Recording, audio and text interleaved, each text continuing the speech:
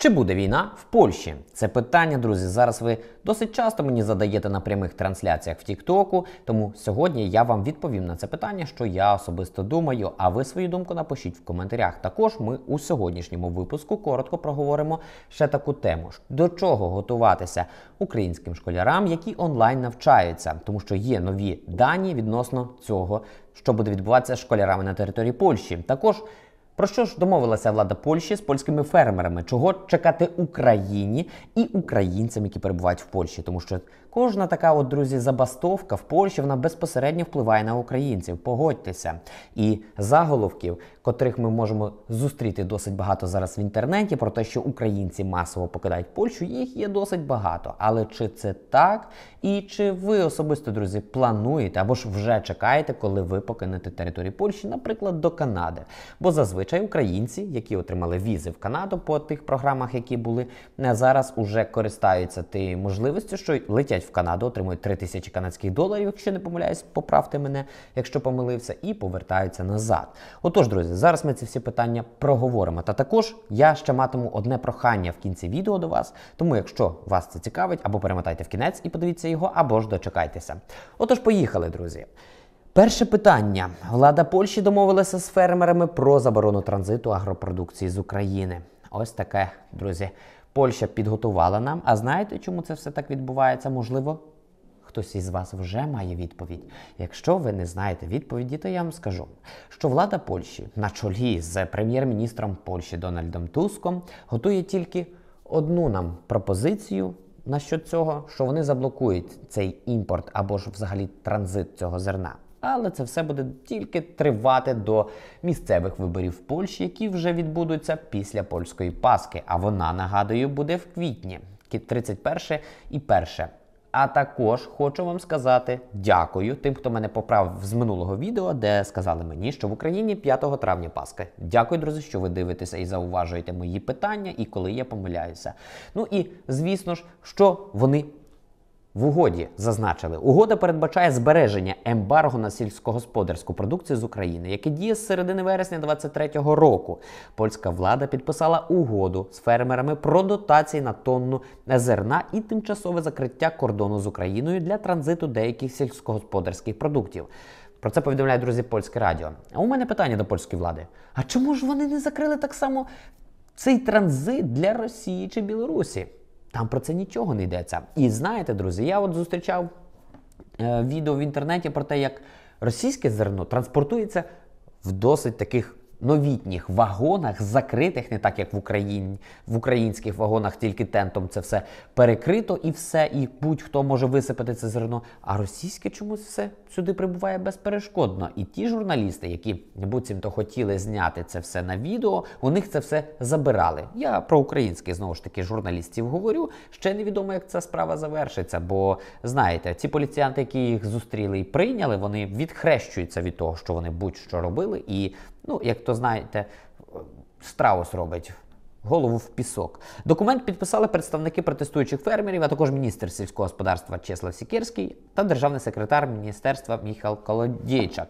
Ну і Знаєте що? Хочу вам сказати, що це все з 1 квітня набере чинності. Чи вплине зараз щось на українців, які перебувають в Польщі? Ну, скажу так. Ось цим всім, поки що, я думаю, протести польськими фермерами призупиняться. І так вони вчора проходили мирним шляхом. Напишіть, будь ласка, як в вашому місті це все пройшло? Чи було у вас спокійно, чи ні? Бо, чесно кажучи, під вечір вчора я почав отримувати такі різні повідомлення, що Протести з'явилися. В Кракові все пройшло мирним шляхом. От на ронді Могільському вони всі збиралися, там покричали, поговорили про Україну, згадали, що Україна повинна вистояти, і поляки повинні допомагати цьому. Також, друзі, якщо ви задаєте питання, поляки і польські фермери це два різних терміни, тому що страйкують в Польщі це польські фермери, а не всі поляки. Тому давайте бути чесними і розподіляти всі терміни так, як вони повинні стояти. Тепер переходимо, друзі, плавно до польських школярів, тому що це дуже важливе питання, яке ви маєте знати.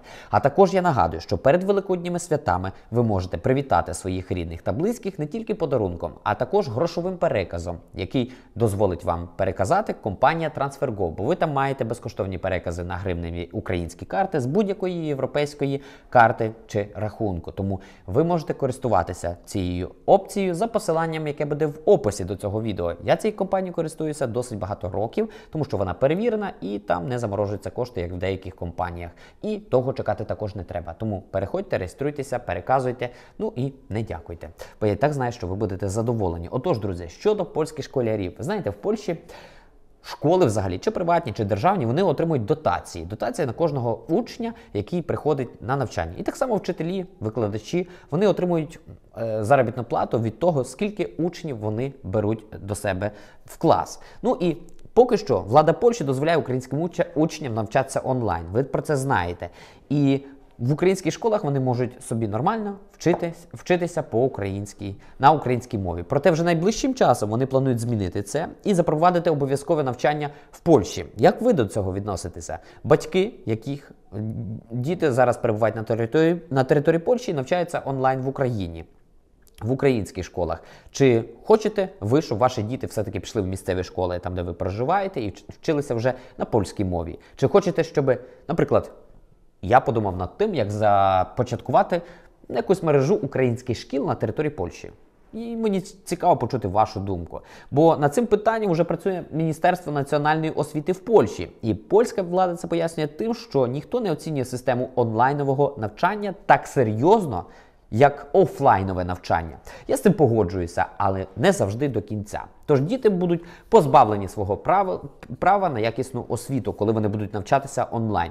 Ну і я думаю, що батьки будуть більш задоволеніші, коли це моя думка як батька, коли дитина буде ходити на навчання, бо ви отримуєте більше вільного часу для того, щоб піти на роботу або ж просто залишитися вдома і нормально відпочити. Переведення учнів на навчання у польські школи може позбавити їх можливості вивчати українську мову та культуру. Це варто зазначити. Це викликає питання про збереження ідентичності та культурного спадку. У польському уряді заявляють, що не хочуть позбавляти права українських учнів вивчати свою рідну українську мову і запевняють, що шукають можливості вивчати українську як другу іноземну мову. Проте готових рішень на сьогодні поки що не пропонують. Ну, поляки цим точно не будуть задоволені, але я знаю, що досить багато є громадян Польщі, які хотіли потримати другу мову як українську. Тому що ви розумієте прекрасно, якщо нормально мислити, не як патріоти, а як люди, які логічно мислять. Що коли ти знаєш українську мову та польську мову, ти без проблем зможеш побудувати торгівельні відносини з однією із потужних країн, а це Україна. Ну і звісно ж для мене це є нормально. У Польщі на сьогоднішній день, друзі, діє близько двох тисяч шкіл, і російська мова викладається як друга іноземна до сих пір. То чому не може бути українська мова? От я думаю, що вона повинна бути. І українців тут є набагато більше, ніж росіян.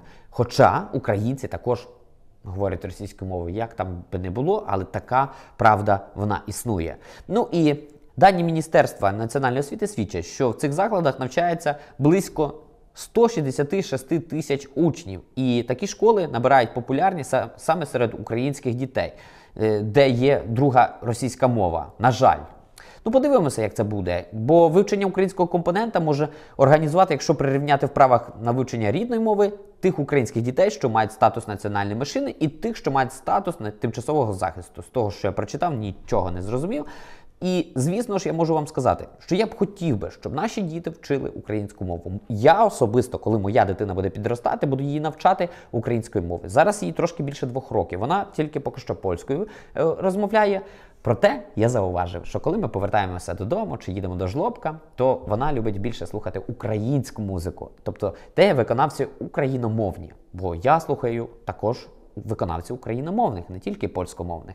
І знаєте, їй більше подобаються україномовні, ніж польськомовні, що мене дивує. Тому я впевнений, що моя дитина буде спілкуватися не тільки двома мовами, а й більшістю, тому що я завжди кажу, що чим більше ти мов знаєш, тим більше ти стаєш ерудованішим.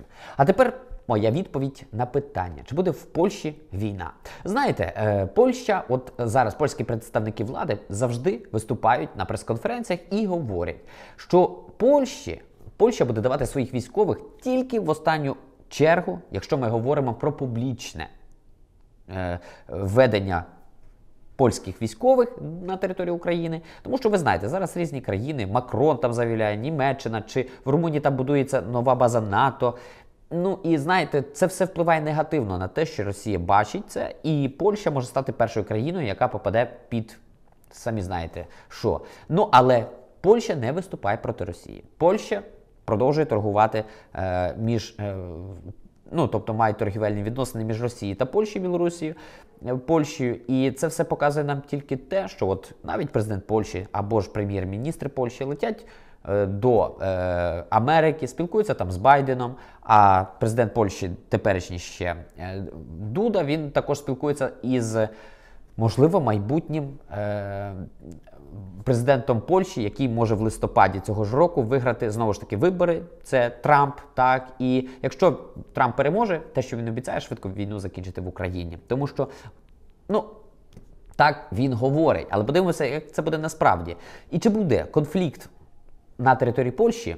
Ну, я, чесно кажучи, не можу знати, проте я цього не відкидаю. Але я, наприклад, не планую виїжджати з Польщі, і я кажу, що я мушу думати про легалізацію. Я подався на сталий побит. Я взагалі про це не переживаю, що може тут статися. Я живу сьогоднішнім днем і планую майбутнє. Тому я вам так само рекомендую не думати, чи буде тут війна чи ні. Тому що експертів. Таких як я, є сотні, і вони кожен можуть говорити різне: чи Гордон, чи чи Трамп, чи Байден, будь-хто. Їм виріти не можна, тому що все, що вони говорять публічно, це все неправда. Це так завжди було і буде.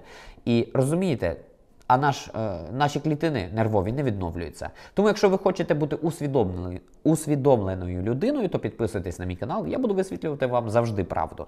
На сьогоднішній день в Польщі поки що жодних військових дій не планується. Тут є достатньо військових із НАТО, які дали б відсіч, першу відсіч е, тим е, нападам з російської сторони, так само з білоруської сторони, і в ту ж саму чергу, от навіть після сьогоднішньої атаки нічної на Україну на Київ е, російськими е, цими літаками, то можу вам сказати, що польські літаки знову ж таки піднялися в повітря. Тобто Польща зараз вже більш приготовленіша, е, приготовленіша, ніж це було до виборів жовтневих. Ну і скажу так. Те, що я питаю в поляків, то вони будуть готові захищати територію своєї країни. І знаю, що є багато таких, які вже отримали дозвіл на зброю. Тобто, звичайні громадяни можуть отримати дозвіл на зброю. Я коли отримую сталий побит, і так само отримую дозвіл на зброю. А тепер той ролик, який я вас попросив, друзі, почекати, подивитися в кінці, тому що це дуже важливо. Ми повинні підтримувати наших військових. Я всіх не можу підтримати, бо знаю, що ви почнете мені писати це в приватні повідомлення на інстаграм, але всім я допомогти не можу. Тому маленькими такими частинами я буду старатися допомагати разом з вашою підтримкою і з вашими молитвами. Шановна спільнота. Прошу всіх долучитися до зборів на два FPV-дрони для нашої військової частини 3017 Нацгвардії України. Ну, друзі, хочу додати, що Роман уже тривалий час допомагає цій бригаді і їздить до Харкова неодноразово, звідки він і родом. І хочу вам сказати, що це не перші дрони, які ми будемо направляти в Україну. Ви в описі до відео знайдете всі посилання на банки, які можете поповнювати як з України, так і з Польщі. Хочу ще додати, що я не буду притулою, і ми будемо реально їх надавати по місцю призначення. І фотозвіти ви будете бачити в моєму телеграмі, посилання на які ви знайдете в описі до цього відео. І Роман, де можна побачити роботу таких дронів? За посиланнями ми будемо прикріплювати відео бойової роботи наших дронів. Ну і ви побачите в реальності, як вони будуть шарашити, самі знаєте кого.